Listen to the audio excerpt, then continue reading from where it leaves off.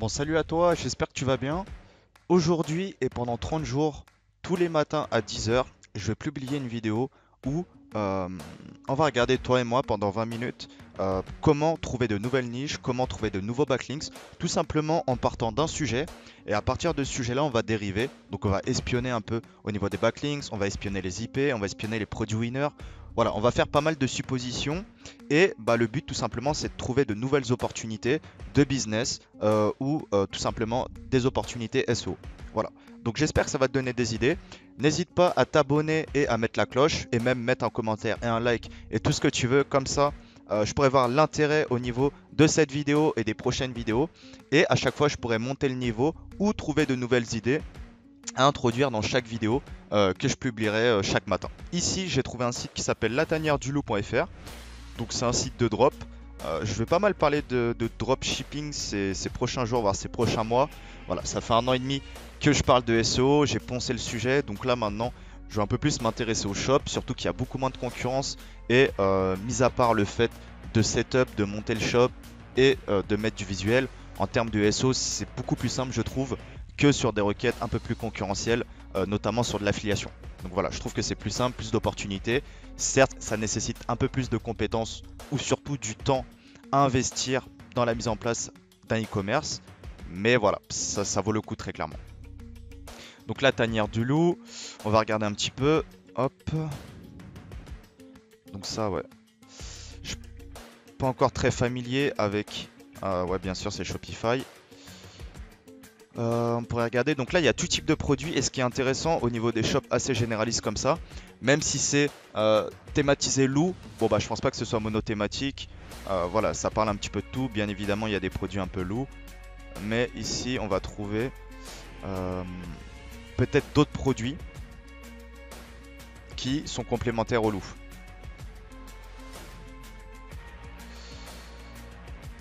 Euh, voilà, donc ici, moi ce que je vous propose de faire, on va prendre l'URL directement et on va la mettre dans ici Observer.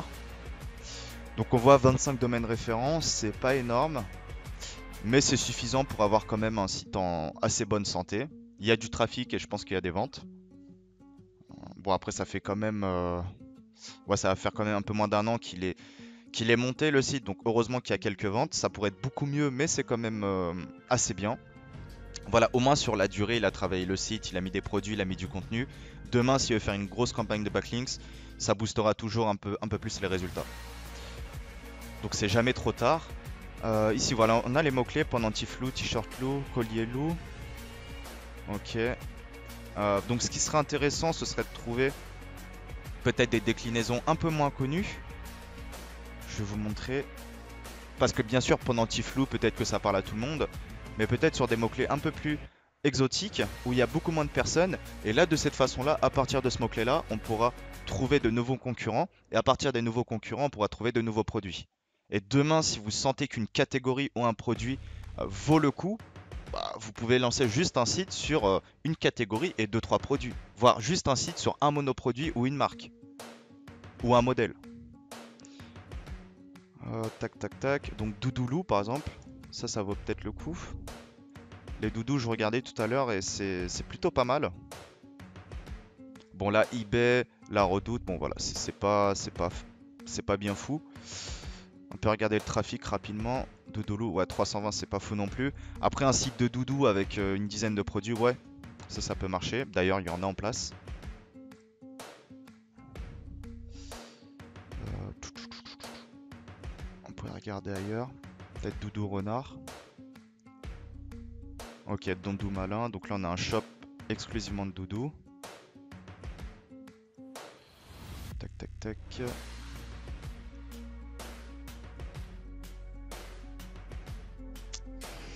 peu trop généraliste les deux. Ce qu'on pourrait regarder aussi, bien sûr au niveau des mots-clés, euh, si au niveau des mots-clés vous trouvez rien de concluant, ce que je vous propose de faire c'est de regarder ici les top pages. Les top pages. Si vous avez SEMrush, voici Observer, vous regardez ici, hop, donc vous avez chaque URL et vous avez un classement euh, des URL en fonction des referring domaines. Et ce qui est intéressant, c'est que normalement, quelqu'un qui pratique un minimum le SEO, quand il a un produit winner, une page qui vend bien, il va essayer de pousser cette page. Bien évidemment, en rajoutant, en rajoutant du contenu et surtout en envoyant des backlinks, que ce soit même 3 ou 4 backlinks maximum, mais de qualité sur la page en question. Et de cette façon-là, bah, nous, on peut identifier plus ou moins euh, les produits winners, ou les URL winners en tout cas. Ici, qu'on voit, on voit que la collection tableau lot, bon ça c'est des 4. On va regarder un peu plus au niveau des produits si on peut. Ok, donc là on voit que les 4 catégories euh, reçoivent euh, du, backlinks, du referring domain. Donc là on n'a pas vraiment de produits qui se distinguent en termes de, netlinking. Donc c'est pas forcément hyper intéressant. On va regarder après sur d'autres sites. Je pense que par exemple ici Terre des lots. Donc là c'est un concurrent. Donc Back Viking lui aussi il fait du Viking, Pendentiflow. Ok, en fait il y a pas mal de de consanguinité sur les différents produits. Par exemple, Lou, bah voilà, on peut vite tomber sur du Viking. Du Viking, on peut tomber vite sur d'autres produits. Donc c'est pas mal pour vous, si vous voulez lancer des shops, remonter ces différents sites, ces différentes niches et identifier celle qui vaut le plus rapidement le coup. Et moi, je dirais identifier celle qui est le plus facilement accessible en top 3. Donc quitte à prendre un petit mot-clé, au moins c'est un petit mot-clé où on sera rapidement top 3 et on pourra tester vite le produit. Bien entendu, si vous avez un peu de budget, ne faites même pas de SEO. Faites de l'AdWords, testez, trouvez le produit winner, enfin le, produit qui se vend le mieux sur, euh, un lot de 5 ou un lot de 10. Et là, après, en fonction des résultats, vous faites du SEO. Même si vous n'êtes pas forcément hyper rentable en AdWords, bon bah là vous le faites en SEO, ce sera totalement gratuit. Euh, déguisement loup-garou, tatouage indien, ça, ça peut être intéressant. Peluche loup, on va prendre aussi. Ok, ok, bon là c'est toujours les mêmes. Backbiker, ça peut être pas mal aussi. C'est fou, c'est toujours les mêmes produits. Hein. Vous allez voir, venez chaque jour à 10h du matin et euh, le seul truc que je vais faire avant de prendre une vidéo, ce sera une petite recherche de niche. Et en fait, je vois que tout le monde est sur les mêmes niches. Et au final, t'as tellement de trucs à faire. Chevalière, je le vois aussi beaucoup. Euh, c'est pas parce que c'est du drop que vous devez aller sur des niches où il y a déjà des shops. Vous pouvez aller exploiter des niches où il n'y a pas forcément de e-commerce. Et sans, sans, forcément rester avec euh, Amazon et la data SEMrush ou la data SEO Observer. Vous pouvez faire des recherches vous-même euh, uniquement avec Google. quoi. Bijou Biker. Ok, iPhone. Bon là on va regarder déjà ce qu'on a.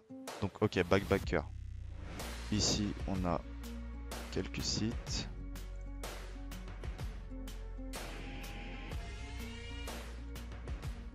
Ok, celui-ci semble pas mal. Parce qu'il est relativement simple, il se positionne relativement bien. Donc derrière le SEO doit pas être mauvais. Ok, 14 referring domaines. C'est vraiment léger et pour le coup c'est bien parce que le site est assez visible.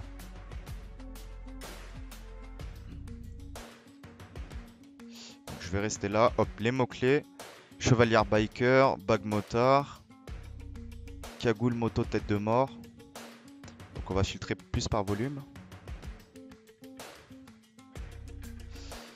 Cache-cou moto. C'est quoi ça, cagoule ghost?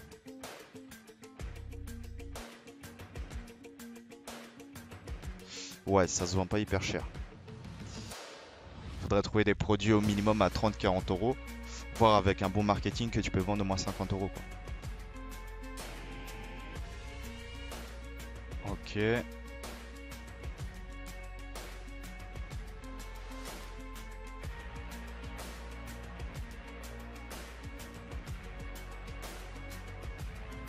Ouais, on n'a pas des trucs de fou. On va regarder au niveau des backlinks.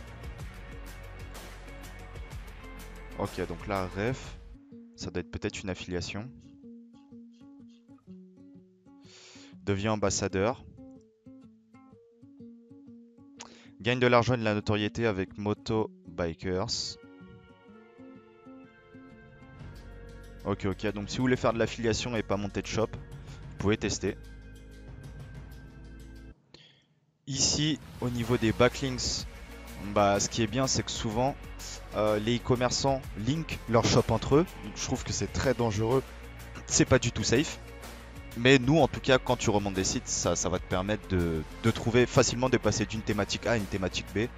Euh, et, d'avoir de nouvelles idées, quoi. Ok, donc là on arrive sur de l'anneau. Sur de l'anneau et de la bague. Ce qui est plutôt pas mal. Euh, les visuels sont vraiment intéressants. Anneau dragon. Ok, ça c'est pas mal, ça me plaît. 68, 68 domaines référents. Ouais, ça va, ça trave pas mal. Tac, tac, tac. Ouais, il existe en plus depuis, depuis 8 mois, donc 9 mois maintenant. C'est pas trop mal, ça c'est une bonne niche. Si faudrait identifier potentiellement par exemple le top 3 des mots-clés, le top 3 ou 3 à 5 mots-clés où il y a un minimum de trafic et où on, peut prendre rapidement des positions où le produit on peut marger un minimum. Donc ce serait potentiellement les trois critères qui fait que je lancerai directement euh, même un article de blog. Je n'ai même, pas besoin, même pas besoin de lancer un shop, même un article de blog. Euh, voilà, il y, a vraiment 10, 000 solutions. on va revenir dessus.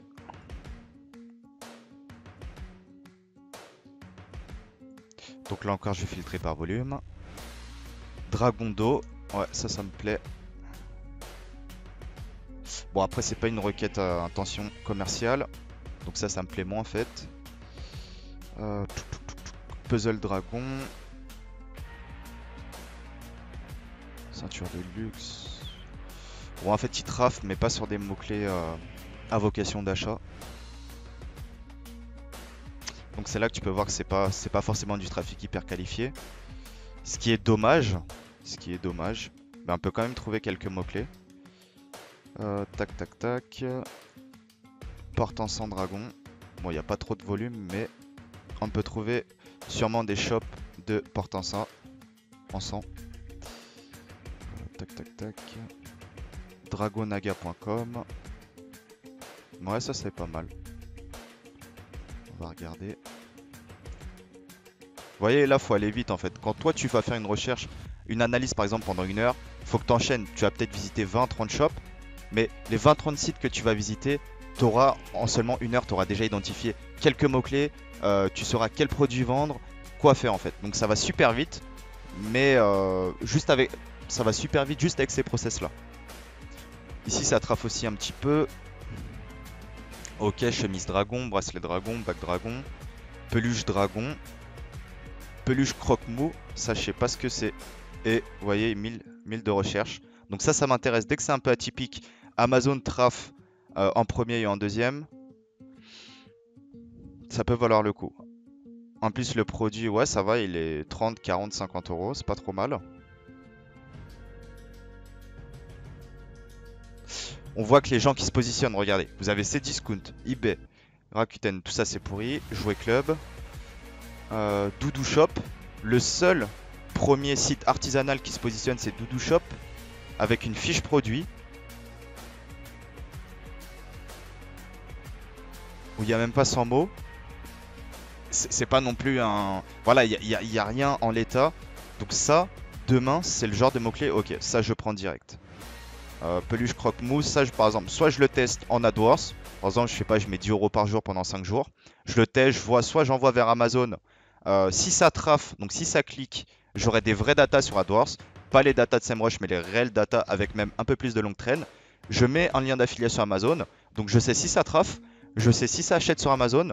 Et si ça fait les deux, bon bah là je peux mettre en place un shop et une catégorie ou une fiche produit sur peluche croque-mou. Par contre, j'envoie 1000 mots, euh, optimisé.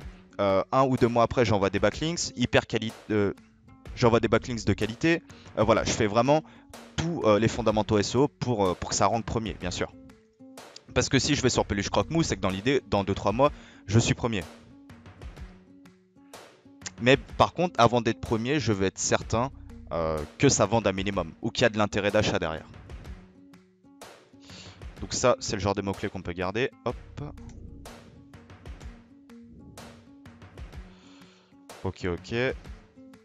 Donc là, on va cliquer ici. De toute façon, un coup d'œil, la concurrence, tu peux voir que tu peux voir si elle est assez solide, si c'est moyen ou s'il n'y a pas de concurrence. Là, pour le coup, il n'y avait pas de concurrence, quoi. Montre japonais, chevalier argent homme. Montre Komodo. Bague anti-stress. Ça doit avoir du monde. Donc là, ce qui va être possible de faire, en fait, c'est soit si on trouve plus vraiment euh, dragon croque-mou. Ok, donc là on a un autre mot-clé autour des croque-mou. Hop. Oh, toi aussi tu m'embêtes, hein. Ah, c'est bon.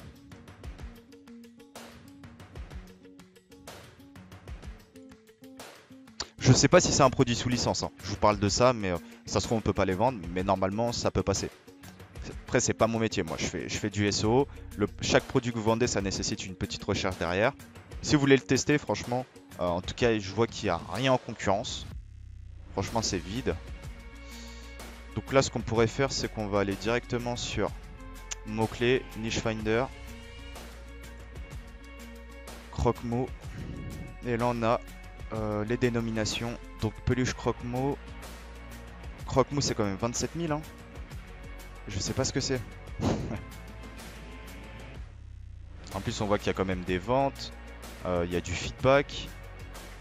Croque-mou et Harold. Ouais, il y a de l'intérêt quoi. 326 feedback. Ouais, non, franchement ça c'est...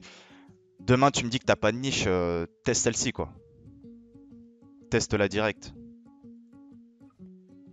Figurine. Bon, la 90, c'est pas bien fou, mais euh, si tu montes euh, un site sur les peluches croque-mou, bah autant tu, vas travailler aussi les autres pages hein, pour sémantiser un maximum ton site. Même si tu vas pas forcément vendre beaucoup de figurines croque-mou.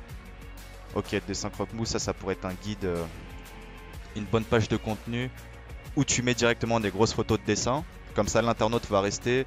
par exemple, s'il va imprimer pour son gamin ou autre, bon bah ça va faire de la, ça va augmenter, ça va maximiser euh, le temps de visite sur le site. Et ça, ça joue un petit peu.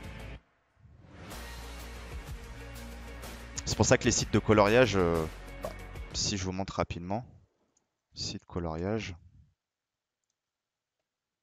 Toi, tu as énormément de coloriage, hop.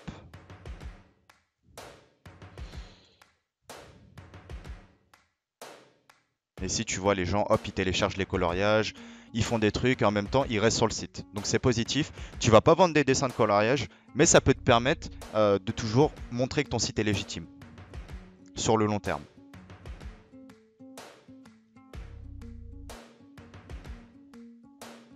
Ok, il y a même des lampes.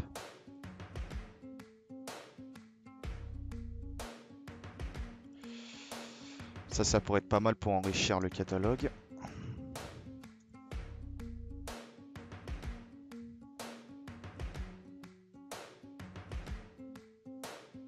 Peluche croque-mot, non non non. Ok, ça c'est plus des sites à l'ancienne. Oh non, c'est plutôt du, du SO. enfin, du mauvais Black SO. Ouais, bon, franchement, il n'y a personne. Hein. Enfin, il n'y a personne. C'est vraiment une niche déserte. Soit c'est une niche déserte parce que c'est des produits peut-être sous licence ou difficiles à, récupérer.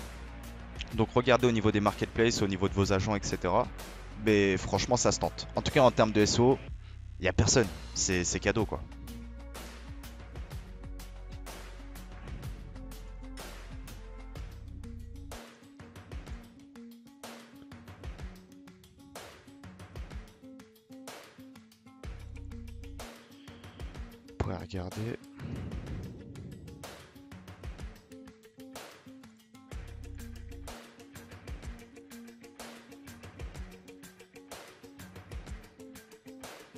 Est-ce que c'est ça croque-mou ou pas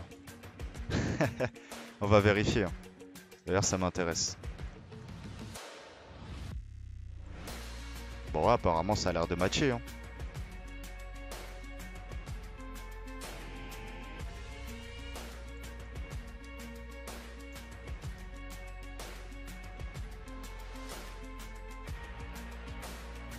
Masque croque-mou, t-shirt croque-mou. Ah, il y a un truc pas mal. Hein. Franchement, là, si tu regardes la vidéo et tu fais du drop, c'est cadeau.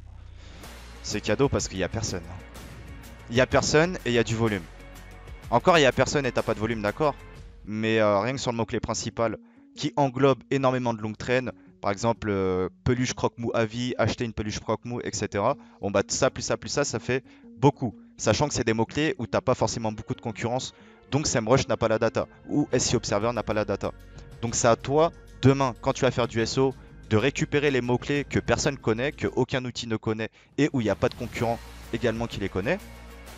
Et donc tu dois l'exploiter. Et là, tu peux facilement dominer la niche. En tout cas, avec un SEO normal et du contenu à gogo, euh, voilà, tu peux vite dominer la niche. Non, il n'y a rien. Vous voyez, le terme croque-mot ressort juste dans le texte, quoi. Et un petit peu dans le title, mais c'est pas fou, quoi. 14 balles. Je pense que site là, si euh, il était conscient peut-être du volume potentiel ou s'il avait mis Google Search Console et une analyse approfondie des mots-clés, il aurait envoyé 2-3 backlinks, euh, par exemple 2-3 euh, articles de blog ou un pack Link Express, par exemple de 5 ou 10 backlinks. Ça là, tu passes rapidement de aller de la 20 ou 25e position en top 5, top 10 quoi. C'est facile, il n'y a personne. Nous, à sa place, on se serait chargé d'aller chercher les forums, thématiques jeux, manga, peluche, enfants, etc. Quoi, tous les trucs thématiques. Et on lui a envoyé peut-être une trentaine de liens répartis sur tout le site, mais on aurait focus cette page business. Parce qu'avec l'analyse qu'on fait, oui, bien sûr, c'est un peu de promotion, mais nous, si tu passes une commande Leak Express chez nous, euh, avant d'envoyer les backlinks, nous, on va faire une analyse. Donc, on va voir les mots-clés, enfin, les pages et les mots-clés qui sont euh, assez bien positionnés, où il y a un fort potentiel, mais que la personne n'exploite pas forcément. Et suite à ça, bah là, on va envoyer des backlinks.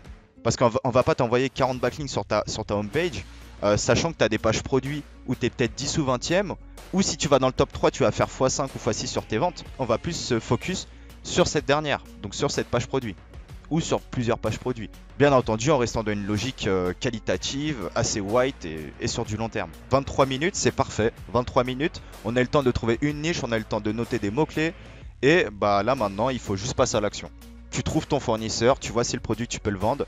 Soit tu fais un petit testing AdWords, mais si tu le sens vraiment bien, tu lances ton shop. En une journée, c'est fait.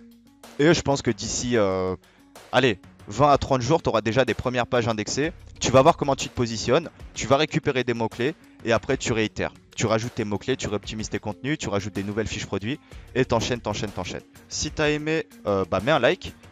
Mets un commentaire également si tu as des idées de niche. En fonction des commentaires, je vois et comme ça, je te fais une vidéo chaque matin à 10h. Je la publie et on kiffe ensemble. A très bientôt. Ciao.